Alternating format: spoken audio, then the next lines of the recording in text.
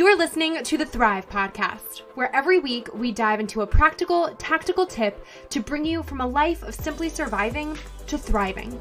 It's personal development for the everyday girl who is done with coasting through her days, done with feeling like she's missing out on the deeper meaning of her own life, and done with mediocrity once and for all. Because it's not enough to simply survive, you deserve to thrive. Welcome back to Thrive. If you've ever found yourself staring wistfully out the window of your nine to five, wondering, is this really for me? Or even knowing that you were meant for more, but feeling unsure of how to make that brave jump, you are going to love today's episode.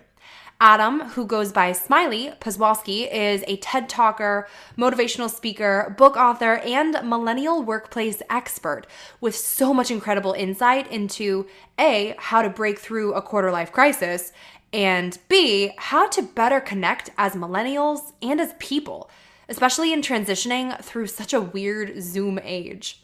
Stay tuned through this conversation. Drop it five stars if you like what you're listening to. And without further ado, welcome Smiley.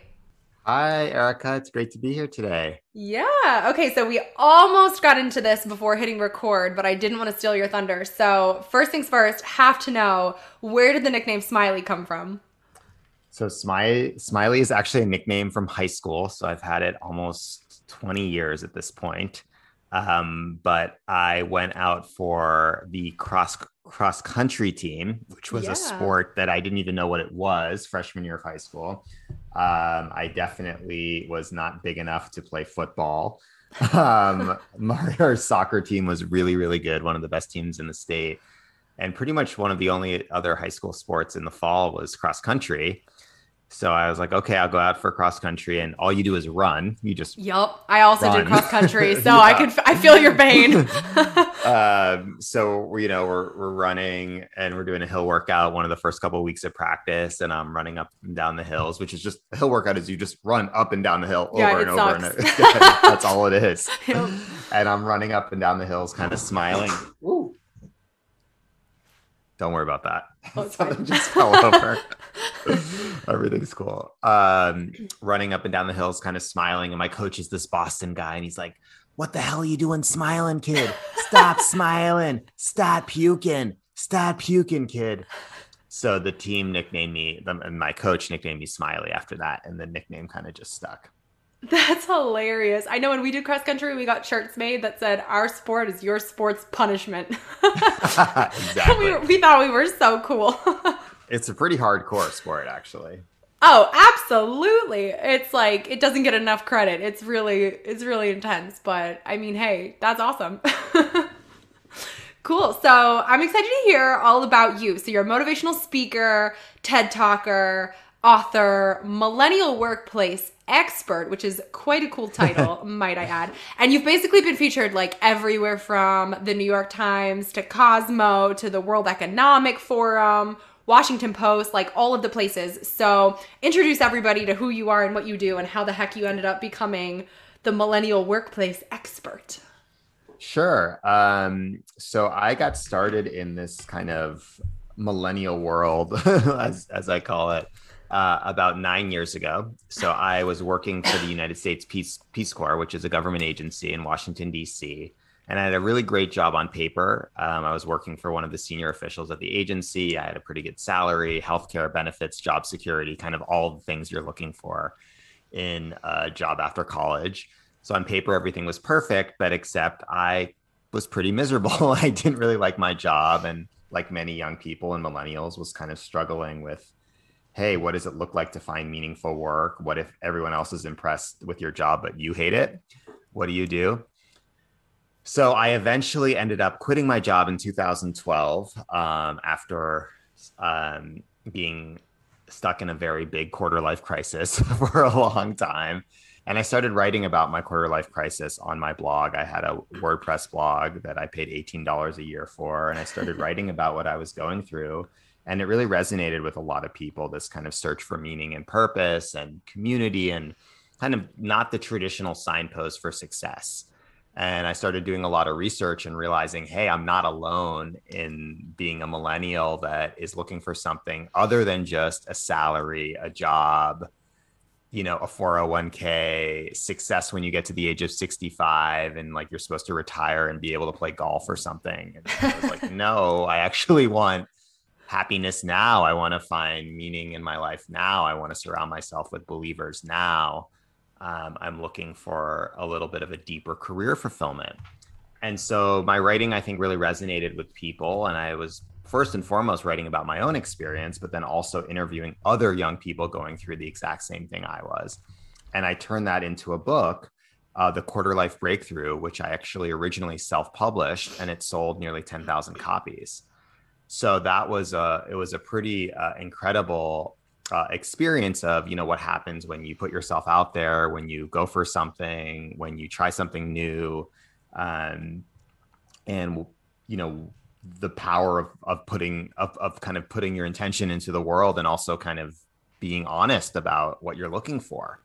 And that was the beginning of my entrepreneurial journey. It was the beginning of my writing journey my speaking journey and i started writing more and more about millennials and realizing that there was a lot of interest that a lot of you know i wasn't alone uh, millennials make up more than 50% of the workforce. Um, some statistics say that in the next five to 10 years, they'll make up nearly 70% of the workforce because of the shifting demographics and so many baby boomers retiring. So it was the right time for that idea. And that's kind of how I launched my career. And um, realizing that, you know, writing, for those of you that write, is a very great way to get your ideas out there, but is not a great way to make money. Um, it's more of a calling card. It's more of building your audience. It's more of communicating your ideas, connecting with readers, meeting other people. Uh, but speaking was actually how I made a living, and that there was a lot of interest on the company side in terms of attracting, retaining, and engaging millennial talent.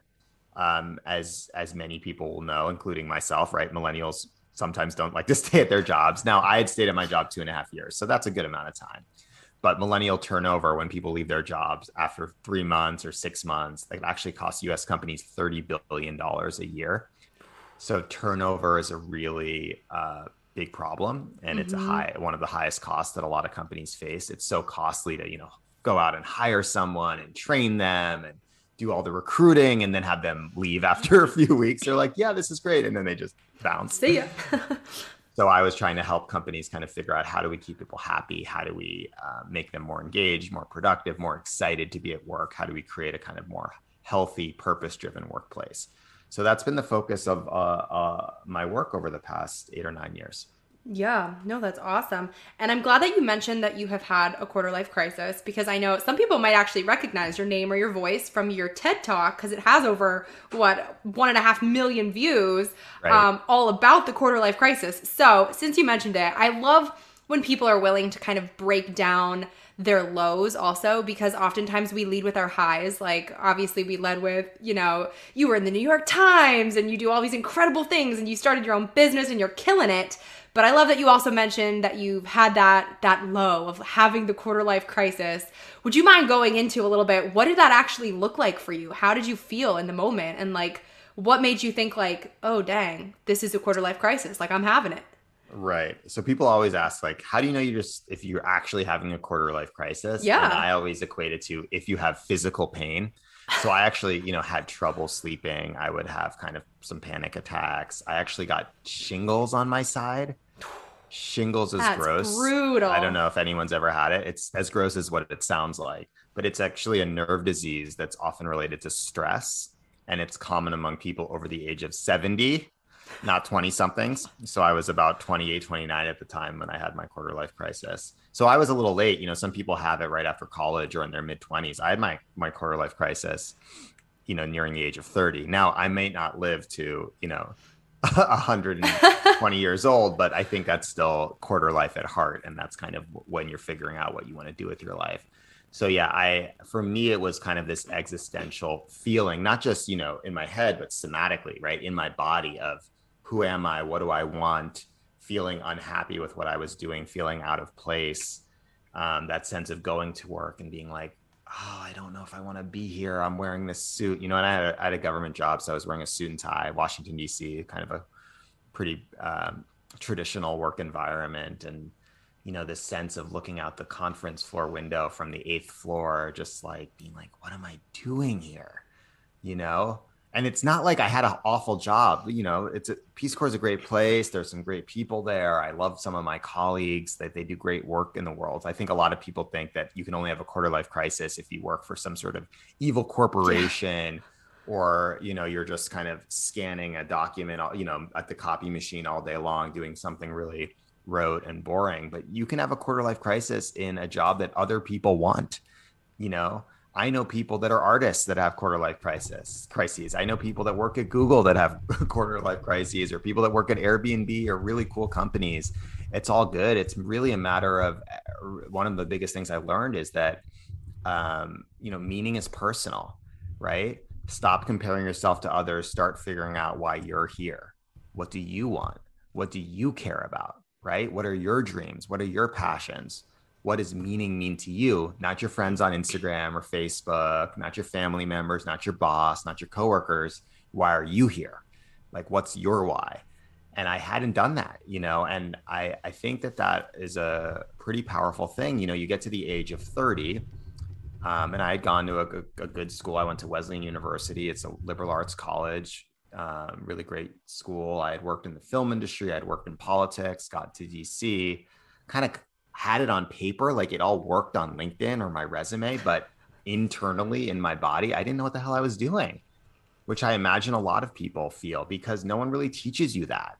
You don't really learn that in college. You don't really learn that in your 20s, even your 30s. A lot of people are just kind of going through the motions on autopilot, you know, oh yeah, I got the salary, I get the paycheck, direct deposit, woo. Yep. But then every now and then to stop to say, like, am I actually enjoying this? Is this what I want to be doing? Um, you only have one life, and I'm so grateful that I kind of had that wake up call. Um, for me, it was really the wake up call happened from being around other people in their 20s and 30s, other millennials that had either already had their quarter life crisis or were also going through it. So I met a lot of people on the other side that had been like, because I, you know, my biggest fears were, you know, this job's great. What if, what if I quit and then I don't find anything else, right? What if I quit? What if I, you know, leave DC and my dream was to move to San Francisco and become a writer? And what if I fail? Like, what if it doesn't work out? And a buddy of mine that I met, Evan, um, I had gone to this leadership program called StartingBloc, the StartingBloc Institute for Social Innovation. It brings together social entrepreneurs and young people that are interested in using business for good. And I met this guy, Evan, at this program, and he said, Smiley, why would you be doing anything less than reaching your full potential? Oh, that just is so good. Right? So simple. And I was like, and we were having a beer on top of the uh, on a rooftop on the uh, top of the Shangri-La Hotel in LA in Santa Monica, which is a beautiful like rooftop, you know, bar. You oversee the Pacific Ocean. It's gorgeous. And I was like, yeah, why would I be doing anything less than reaching my full potential in life? And no one had really ever asked me that, right? People had asked me like, you know, where do you work? What do you do? How much money do you make? What's your five year, 10 year career plan? Blah, blah, blah. You know, how are you moving up the ladder? But no one had ever asked, why would you be doing anything less than reaching your full potential? And once I frame, once I kind of started to frame it like that, of why would I be doing anything less than my full potential? I realized, okay, cool, yeah, I have this job, I'm making some money, it looks good on paper, but I'm, I know because I, the only person that can answer that is yourself. I know I'm not reaching my full potential. I know because I'm not excelling. I'm not stoked to wake up in the morning every day. You're not, not thriving. I'm not thriving. I'm not yeah. thriving. And if that's the case, then it's my responsibility to do something about it uh, and switch it up. So then I realized, well, I can't really fail because anything that's different than this, anything that's a new opportunity is going to be something different, something special, learning opportunity it's also going to be on the path to thriving, on the path to happiness, on the path to something, also on the path to impact, right? It's really hard to be impacting the lives of others if you're not thriving yourself. So that is the best decision single-handedly that I may have made in my life was making a career change essentially at the age of 30. So that's why I called my first book The Quarter Life Breakthrough, not the quarter life crisis, right? So I had a quarter life crisis, but I turned it into a breakthrough. I, th- I think of it as a moment of po- a positive moment, of possibility, of opportunity, of, of change, of growth. Um, and out of kind of this this crisis, this FOMO, this sense of dread, comes something beautiful, comes comes something new. And so making that jump and and and leaving my job in DC and moving across the country to San Francisco and starting this whole new career as a writer at the age of 30, you know, which is old, but like not that old. old. Yeah.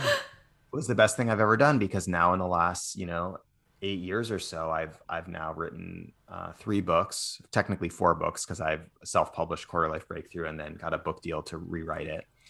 Um, and I've you know been able to touch the lives of millions of people simply because I took the leap and I I went for it.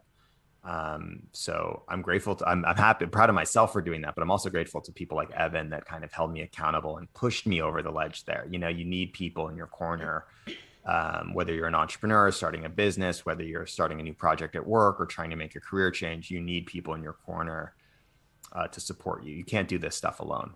For sure. And I can fully empathize and appreciate uh, the position that you were in, in terms of that feeling of, okay, well, everyone around me is doing this one thing and is on this path that is supposed to be the enviable ladder to success, and just knowing it wasn't right for you. Because I went to the Wharton School at UPenn and I saw that right. constantly where it was like if you weren't gunning for one of the top five consulting firms, it was like, what are you doing with your life? And I was like, well, I would rather, like, I just knew from the start, I'm like, I would literally rather uh, watch grass grow than do accounting every single day of my life. and people thought I was crazy when I would, when I started my blog back in college. They're like, what are you, like, what are you here for? What are you doing? Like, this is, this is a joke and i hope that all my peers are happy and doing their doing their thing and are fulfilled and thriving in their own lives. But i'm like oh my god i'm so glad that i pursued what i was actually interested in simultaneously because now it's become the business that i have now. And i still to this day i'm like i would i would never in a million years be at some accounting firm pushing paper. It's just so not me. So i'm like right but it's hard. Like you said, it's so hard because everyone around you, it's like this vacuum of, but this is right. what's successful and this is what makes you good and worthy. And if you're not interested in that, it means you're not as smart as everybody else. So you're not as whatever. And it just means you're different. It's totally not a bad thing at all. I, I think it's a positive. I mean, I think yeah. it's an incredible thing to be able to look around and say, you know what, that's not for me, or I, I, don't want to do that because it means you're critical, like a critical thinker, and yeah. you're deciding who you are and what you want, and you're taking the time to really understand yourself and, and be self-aware and know yourself, which is I think one of the most important things we can do in this life is to know who we are and know what we want and know the types of people we want to surround ourselves with and actually think and take the time to really understand what do we want? And and why are we here? And what is you know the gifts we can have? And yeah if if that it means working for deloitte or mckinsey or accenture amazing. And maybe that's in service to doing something else later. Everyone is different. Great. But for many of us that's just not going to be the case. Mm-hmm. and that's okay. And it's also okay if you're still searching. I think that that's the other thing we don't talk about. You know a lot of you know we assume that people need to have it all figured out or because you majored in something in college or you got a degree in something that that's what you have to do but the actual data points to you know the average millennial will have 15 or 20 different jobs in their lifetime only 25% of people end up doing something that's related to what they majored in in college and that's so unique to our generation too because a lot of our parents were in the generation of right. you are in the same career maybe even the same job or the same role at the same company for sometimes decades which is like so not what our generation does. So it's really incredible. Yeah, it's that's just not it. You know, now, you know, the average person, the average millennial is staying in their job about two to three years, even less. The average person of any age is staying in their job just about four years. So it's it's not even just millennials at this point, it's everyone because mm-hmm. of the mm-hmm. changing nature of how we work, of technology changing so quickly and the global job market it's just not like that anymore. So I yeah. really encourage people. Um, you know, we used to have kind of the career ladder mindset. You know, the ladder moves up one direction, it's linear. You get on it at some point when you're young, college, early 20s, you kind of work your way up step by step, entry level position, move up higher, higher, higher. And at some point, you know, you're 60, 65, you can retire and, you know, play golf or tennis or whatever you do and then have a happy life or something in retirement. And there's like you know you get to the top and suddenly you're successful then. But actually i encourage people to think of their career much more as a lily pad pond of lily pads the lily pad mindset where the lily pads are spread out in all directions. They're all connected by their roots. That's kind of what's meaningful to you who you are what you care about what your purpose is um, but you can hop from different lily pads depending on what you're interested in and what you're good at and what you want to do. It doesn't mean you quit your job every two days. That's a real, probably a recipe for being pretty unhappy and also unemployed. but it means that you kind of have to be growing and constantly evolving and changing, both in terms of learning and growth, but also uh, in terms of success. That you can't just kind of pick a track and go like this because that's not how the world works anymore. You have to be adapting and trying and experimenting and trying new things and growing. Mm-hmm. And that that's actually proven to be kind of what what people want is much more of that too. So um, I think that that's the that's the really the new model for careers. Yeah.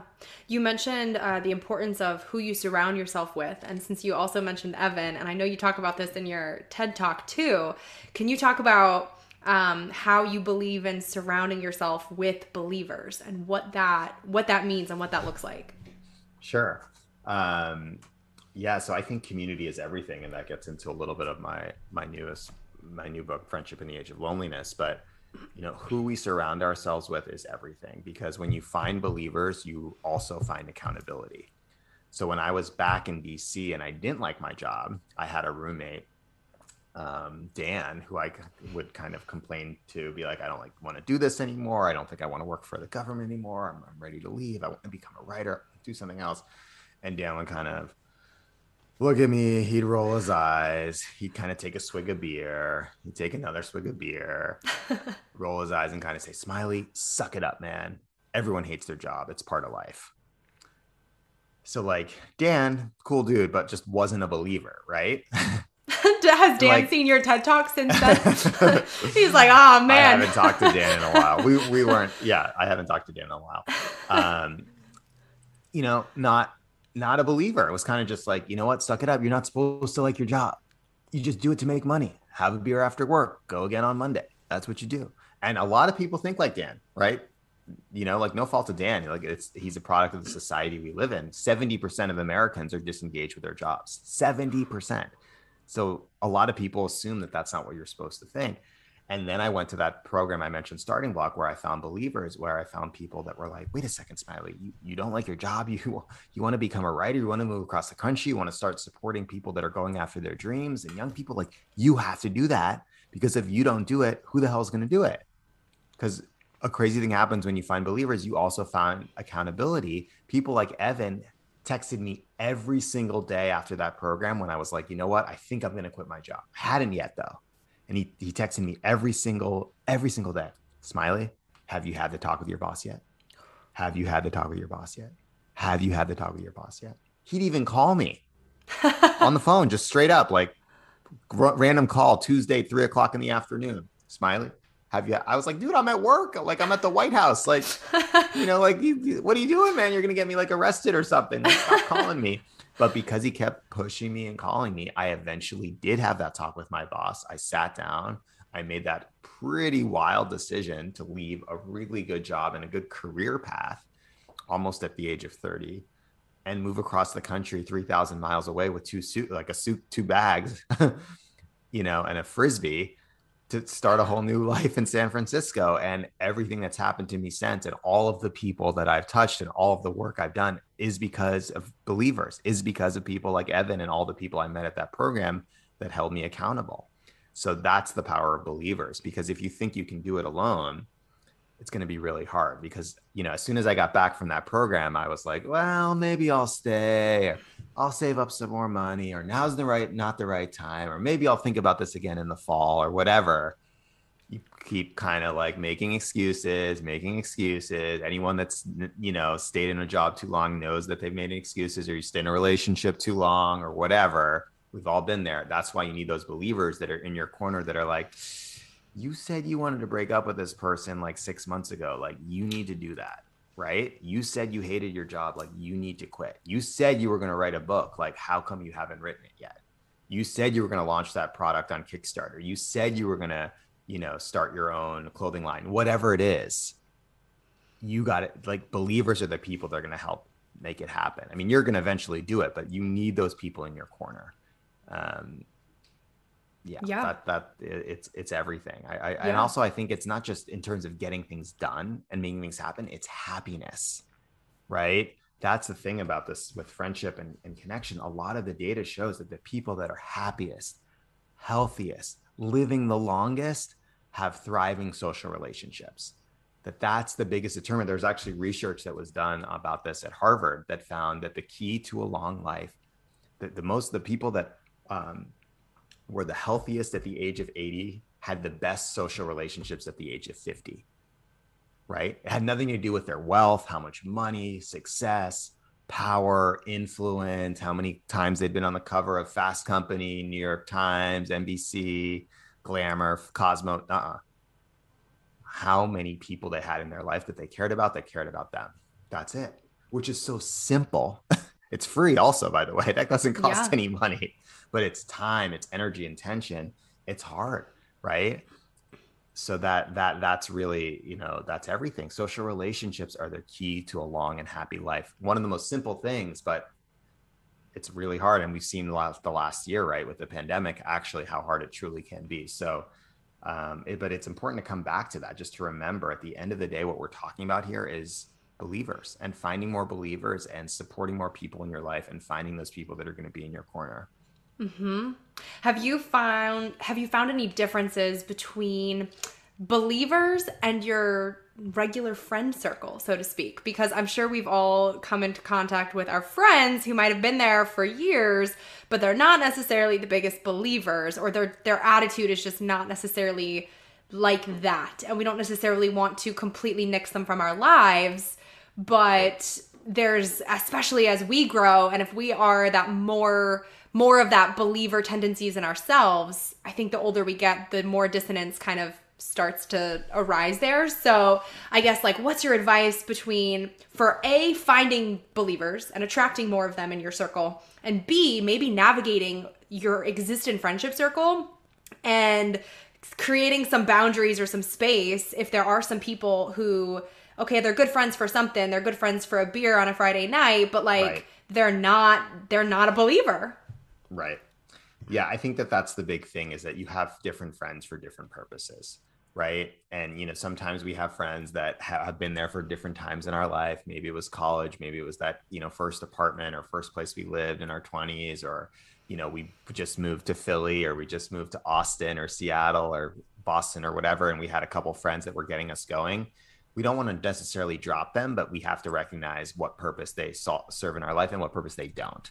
And I think the key with believers is that there's something more there. They're kind of helping you, um, you know, whether you want to call it achieve, you know, purpose or um, dreams or making you a better person. They have kind of your best interests at heart. Um, they see your north star. They ask you what your north star is, and they help you get there. Um, and friends, it's a little bit different. Friends, you want to be there for you and want to love you, but then they, they, it might be serving a different purpose. It might be just, hey, these are my people that I work out with. They, I do yoga with, I go for a run with, we, we're on the same soccer team, we go to the gym together, something like that. That's cool. That's a friendship. That's great. That's different than kind of, you know, the person that's like, I'm making sure that you start this business or write this book um, so, you know, in terms of where to find believers, I always say kind of put yourself in an environment that's going to challenge you. I think that that's really the place. Like, if you're like, "Ooh, I'm kind of scared about taking this class," right? Maybe it's an online class, or maybe it's a, a an in-person class, cooking class, uh, uh, writing a book, uh, starting a business, uh, salsa dancing, whatever. Putting yourself in an environment like that is a place where you're probably going to meet somebody that's going to push you because you're going outside your comfort zone. You're trying something new. And other people are probably trying something new too. So immediately you have that kind of shared vulnerability, right? You're both kind of being a little bit, this is a little hard for me. Like, I'm going for it. I'm putting myself out there. I'm scared. I'm scared too. Right. Oh, we're both scared. Let's be friends. Like, I believe in you. You believe in me. Right there's a little bit of a realness there. So I think uh, places where you can put yourself outside your comfort zone places that you're meeting people that are different than you, right? So diverse groups of people, whether it's gender, age, background, race, ethnicity. Um, one of the cool things about StartingBloc was I was around all these people that were younger than me, right? I, younger and older. So I was I was in my late 20s kind of like I'm too old for this. You know, what's this 18 year old going to teach me, right? What's this 21 year old going to teach me? And I was like, "Oh my god, these kids are amazing. you know, the, these Gen Zers are all over it. Like they're next level. Like they're activists and organizers and entrepreneurs, and they've already like gotten you know a million dollars in venture funding. Like holy, sh- you know, like they're out there. Like they're making it happen. I have so much to learn from them. Right. Rather than just being like, I'm 30 years old, I know everything. Right. or I'm 40, I'm I have it all figured out. It's like we don't all have it all figured out, right? No one has it figured out. Um, and so put yourself in places where people are a little bit different than you. And then I also think kind of focus on um, creative output, right? Um, is always going to be a place where believers or believers love creativity. Believers are makers too, right? So whether it's whatever your thing is, right? Whether it's uh, you know starting a podcast, building a website, start launching a product, writing a book, sharing your art, learning to cook, um, learning design, those types of environments are going to be places where you're likely to meet more believers because they're naturally artists, creatives, entrepreneurs. Yeah. So since your latest book is um, friendship and you know the age of loneliness, I would love to hear if you have found anything to be particularly helpful in fostering real connections beyond Zoom, whether yeah. that's with coworkers or with friends, since obviously the last year has been, you know, kind of a big deal in the global pandemic. Uh, but since we're now, since there's maybe some light at the end of the tunnel, and now we might be transitioning off of Zoom back offline for some connections a you know some ways for connecting beyond zoom in a really good meaningful way and maybe how to start that transition comfortably back to right. oh like in-person communication. Yeah i mean i think this is such a unique time. For sure. so first and foremost like accepting that and recognizing it and just being like you know it's almost like equating to kind of like being around a swimming pool and you're a kid and like some people are j- diving right in off the diving board. Some like, people are doing ya. a belly flop. They're like i'm in baby let's go. And some people are going to kind of like wade in slowly or do like two strokes and get out. And like some people are just chilling on the lawn chair being like i'm just having my lemonade and i'm chilling like i will zoom you on the other side. Yeah i'll be like on my computer and and talking to you and just recognizing like that's okay. That's all good and actually naming it and being like, this is uncomfortable. This is a little awkward. How are we going to do this? And realizing that we're all at different places, we're all at different comfort zones. And frankly, everyone basically, based on where they live or their personal situation or their family situation, is actually in a different place when it comes to safety um, and, and how they're going to deal with kind of what I'm calling the friendship awakening, right? The friendship kind of reentry. And so let's name it. Let's say, cool, it's okay. And let's give everyone the benefit of the doubt and say, hey, this is what I'm available for. What are you available for? What are you interested in? Right. Immediately making not about like, this is the right way, this is the wrong way. Where are you at? Here's where I'm at. Here's where I'm at. Where are you at? So making it a conversation and kind of entering that conversation from a place of compassion, I think is important. In terms of actually um, the reentry itself, I would say starting with ritual is so important, right? Making something a recurring ritual. We know that increased connection is going to lead to making it deeper. There's a psychological principle known as the mere exposure effect, where the more you see someone, the more you are likely to enjoy them. Um, so if you immediately say, you know, rather than planning kind of a one off event or let's get drinks, you can kind of say, hey, should we start a wine club? Should we do a book club? Do we maybe let's take this cooking class together or do let's do a, a monthly dinner party to welcome everyone together post pandemic um, so that it's not just a one-off thing but it becomes this place where maybe it's just you know a crew of of your six girlfriends uh, where you're all getting together but you have it you know that the next one's also happening and you're like okay you host this one and then in june this person's going to host right? And immediately it creates that thing that you're looking forward to and already it's kind of gets that heartbeat going. So whether it's a dinner party, a, a girls' weekend, a boys' trip, um, uh, a class, um, that type of thing, I think is great. Um, I think the another thing I would say is uh, correspondence rituals. I think are a great way to kind of get in touch with people. Um, you don't have to be good at everything, writing letters, picking up the phone and calling, sending text, video messages, but find one that you are good at, right? I don't think it's okay. You, you have to figure out which which kind of what is your correspondence habit that you that you're good at that you enjoy. Pick that and double down on it. Right. I know people that are all about the audio message. I'm not a big audio message person, but people love it. And they send it. I think it's so great to just say, you know, I was thinking about you. You came into mind. I here's what I'm I, I wanted to update you on what's happening in my life. I'd love to make a plan to hang out. Or if they live far away, just kind of telling them that you're thinking about them um, I think that's a great just coming up with kind of a correspondence ritual um, is beautiful.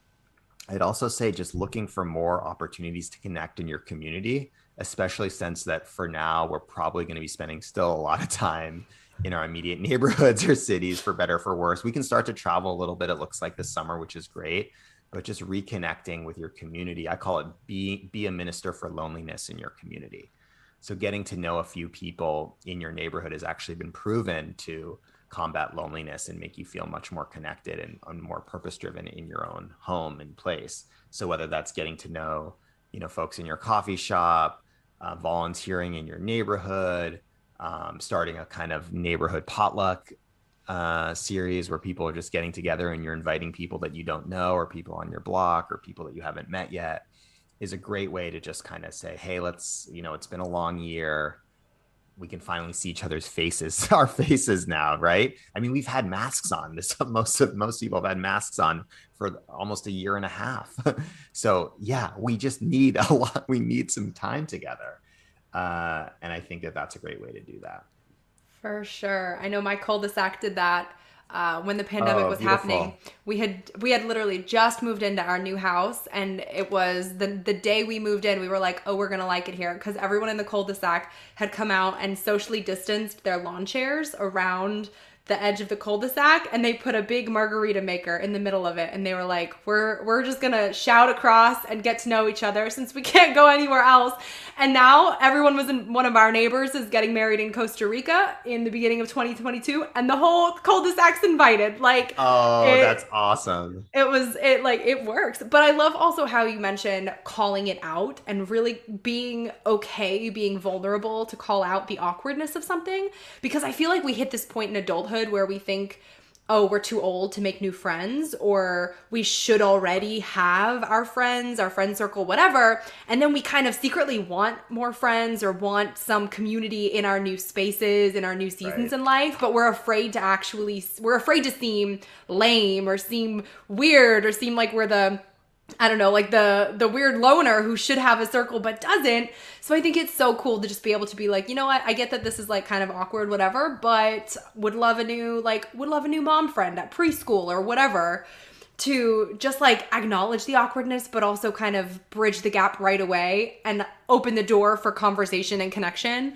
when otherwise like the alternative is it just doesn't happen. So why not? yeah, not? exactly. And and everything everyone's going through it too, mm-hmm. right?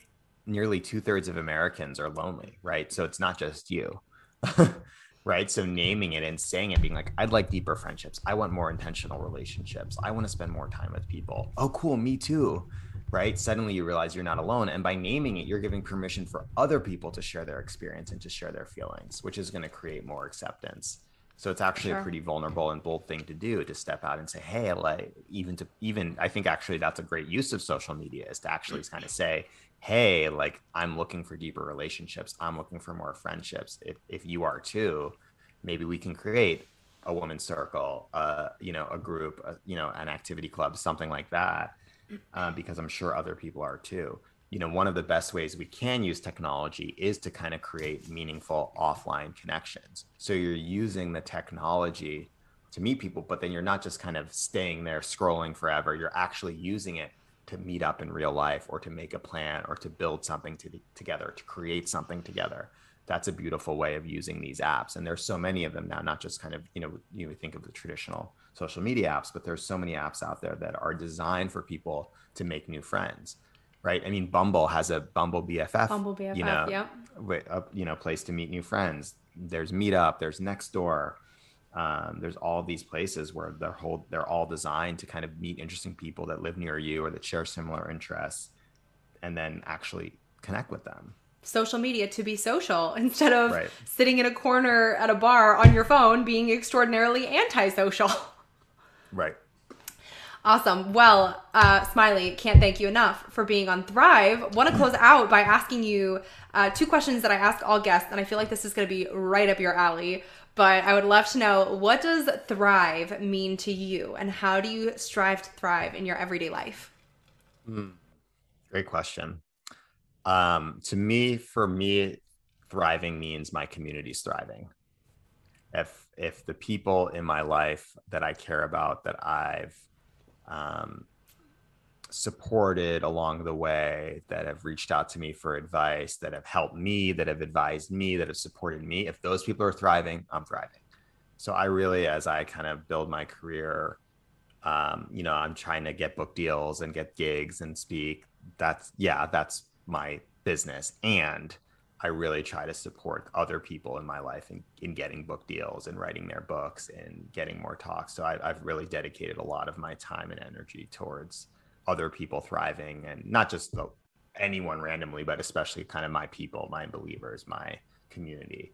Um, it's kind of like, you know, it's akin to like, you know, people in the mu- music business are like, you know, like uh, if a rapper gets kind of comes up, like they bring their whole crew, right? Like if a musician, you know, gets to be in that band, like they probably kind of get like their friend's band as to be the opening act on the bill, right? Like that's how you roll, like that's how you do it. So I'm kind of trying to do that in the the millennial thought leadership world. It's not quite the same as the hip hop industry or um, or rock and roll, but you know, that's that's my definition of thriving, and uh, I hope that I that's how I kind of hope to to to to to do that as as I progress in my career to the future. That's awesome. So tell everyone where they can find you online if they want to connect with you more or pick up a copy of your book. Yeah, so please uh, connect with me on my website and subscribe for my newsletter on Substack, smileyposwolsky.com. You can find all my stuff on my website. Um, I'm on Instagram at What's Up Smiley. And you can buy the book Friendship in the Age of Loneliness uh, on Amazon or wherever you buy books. Wait, before you go, make sure you're subscribed to never miss an episode of Thrive. Drop five stars on your way out if you like what you just listened to, and come join the party on Instagram at thrive.podcast to stay inspired and thriving all week long. Thanks for tuning in. It's your time to thrive.